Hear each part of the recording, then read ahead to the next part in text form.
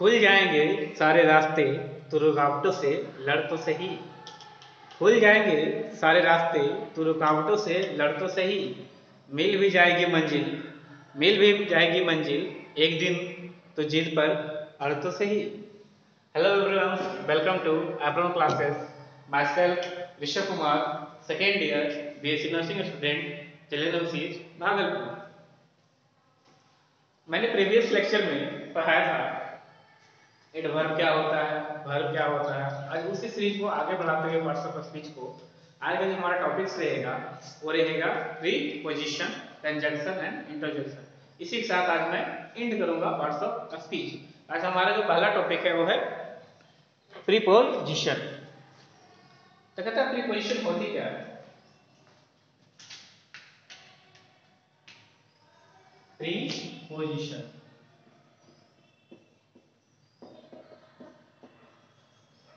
जैसा कि प्रीपोजिशन का डिफाइन है, कहता है preposition is a word preposition is a word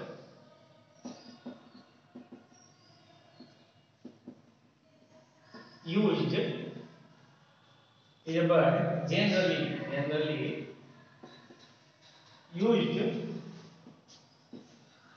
before noun या pronoun to show its relation to show its relation with some other word of sentence.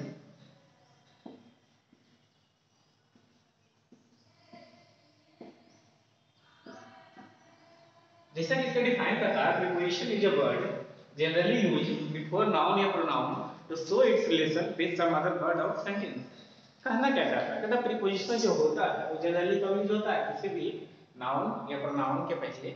और क्या करता है इसका? रिलेशन शो करता है।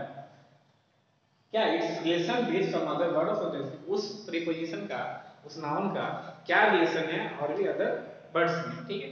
अगर इसका एग्जांपल देखें तो मोस्ट कॉमन होता होगा in to into ever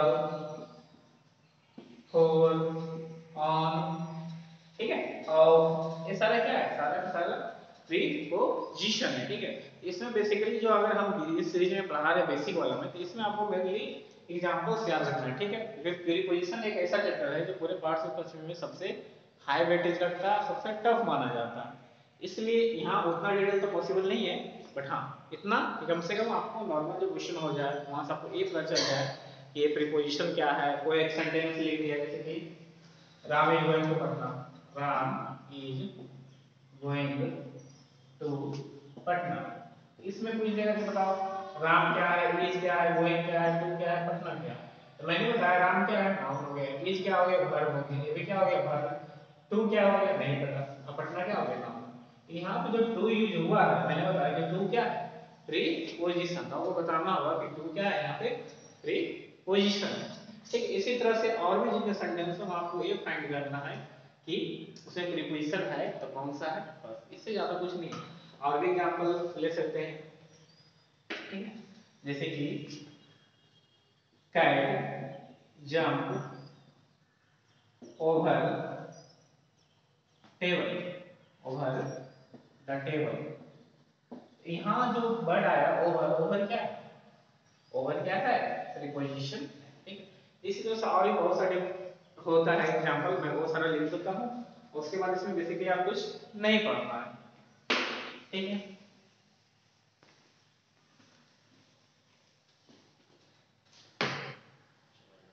एक हो गया आपका बिटवीन ठीक है? एबल ठीक है? नियर फार ये सारा आ गया।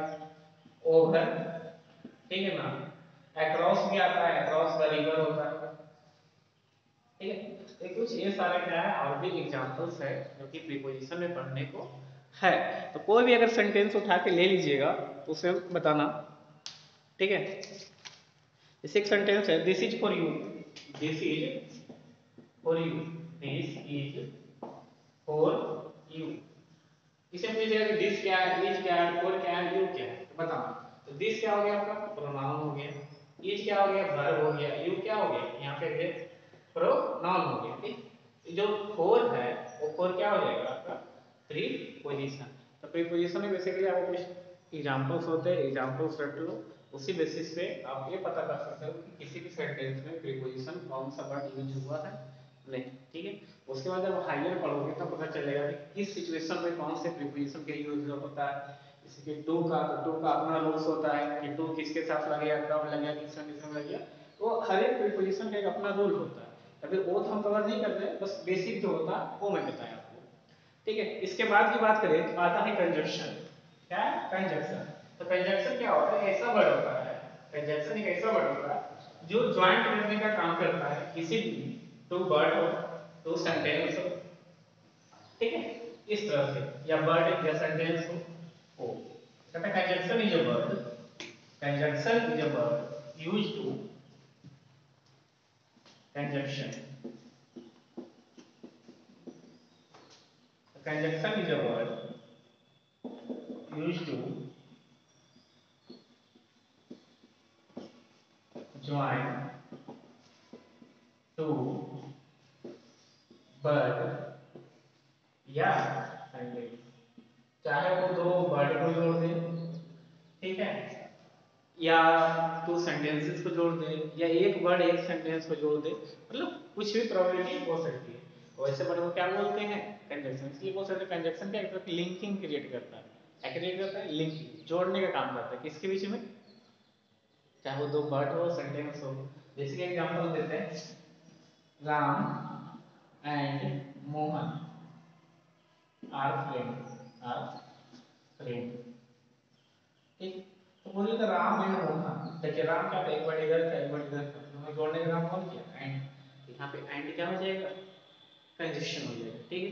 आपको जो मेनली एग्जांपल से याद करना है, क्या? याद कर लो। और बट एंड ये सबसे ज़्यादा यूज़ होने वाला क्या है? कंजक्शन इसके अलावा भी और होते हैं। लेकिन ये तीन याद रखना एटलीस्ट और बट एंड ये सारा क्या करता है? कभी कभी सो भी होता है, ठीक है ना? विदाउट भी होता है। मेनली ये तीन याद रखना और बट एंड ये सारे क्या है? कंजक्शन ठीक है ना? जैसे कि give me give me pen और pencil give me sorry give me pen और पेंसिल ठीक है ना? गिव मी पेन और पेंसिल तो जो पेन और पेंसिल में जो वर्ड और आया, वो वर्ड और तो मतलब क्या होता है? या, बोलते हैं ना, हमको पानी दो या खाना दो। उसी तरह से हमको भाई पेन दो या पेंसिल दो कोई एक चीज़ लेना है, ठीक है? तो उस वर्ड के क्या यूज़ करेंगे हम? और, क्या यूज़ करेंगे? और, ठीक है? तो पेन और पेंसिल। तो और यहाँ पे क्या हो गया?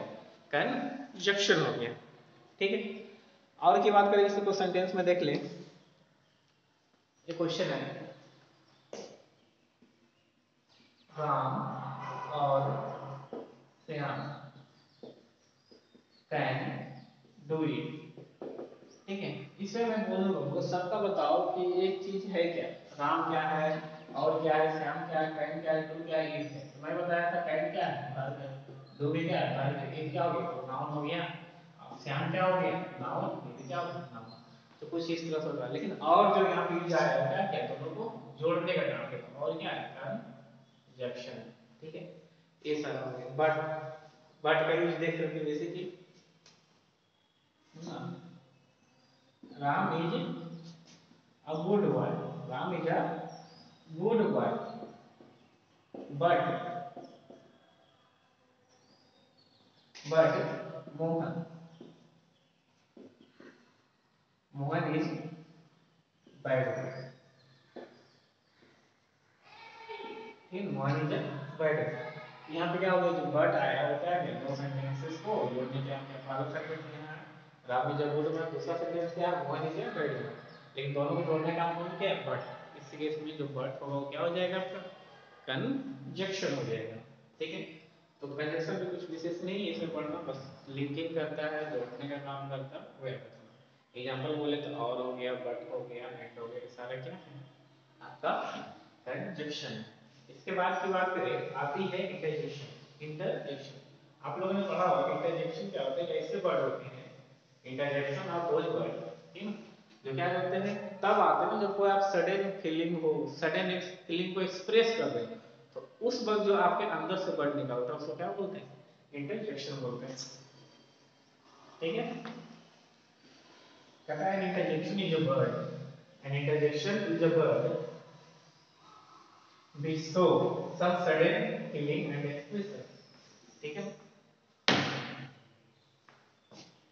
Interjection inter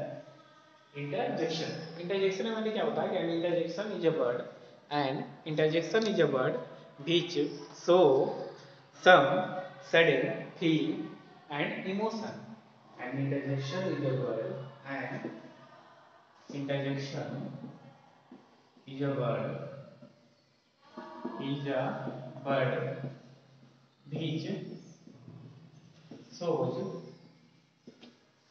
some sudden feeling and emotion which show या एक्सप्रेस करता हो क्या some sudden feeling and emotion and emotion यानी मतलब क्या है interjection interjection ठीक है जो इंटरजेक्शन होते हैं एक वैसे का वर्ड होते हैं जो क्या करते हैं शो करते हैं या एक्सप्रेस करते हैं क्या सम सडन सडन मींस क्या होता है अचानक। क्या होता है? अचानक। अचानक। जो चीज़ अचानक आता है, क्या आता है? अचानक आता है। सडन फीलिंग फीलिंग्स समझते हो जो अंदर की भावनाएँ होती हैं, या इमोशंस ठीक है? उसको जो शो करता है, जो अचानक आता है उसको क्या बोलते हैं? जैसे कि कुछ भी अच्छा होता है, क्या तो वाह, बहुत बढ़िया। वाह तो वाह वर्ड जो आया, वो क्या हो गया? ये हो गया। कहते शाबाश तूने बहुत बढ़िया किया तो शाबाश वाह फिर किसी चीज़ को कहते हैं? वाट अ कार देख के अचानक निकलता what a beautiful girl what a building तो व्हाट अ बिल्डिंग ये सारे क्या आ गए सारे सारे आपके इंटरजेक्शन वर्ड होते हैं? इसका जो एग्जांपल पूछेगा तो क्या होगा?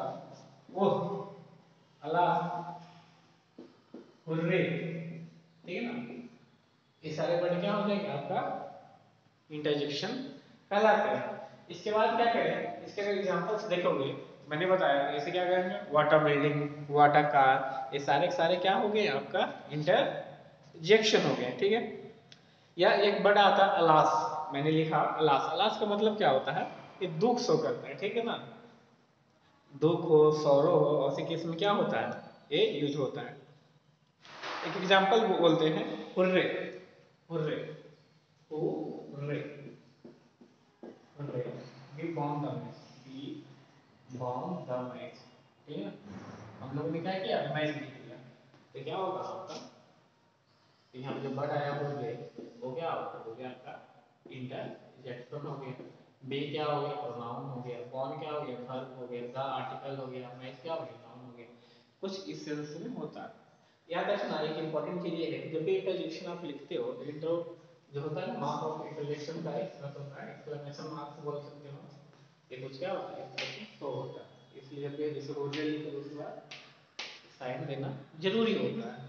ठीक है? ये हो गया। ठीक है? ना जैसे बोल सकते हैं लास्ट ठीक है ना? लास्ट डॉग ठीक ना? जैसे कि मान लो कि एग्जांपल में बोलता हूँ कि कोई भी कुत्ता था ठीक है ना? वो हो गया तो आप उसको क्या बोलोगे? खुशी बोलोगे, गम बोलोगे, या मतलब क्या है?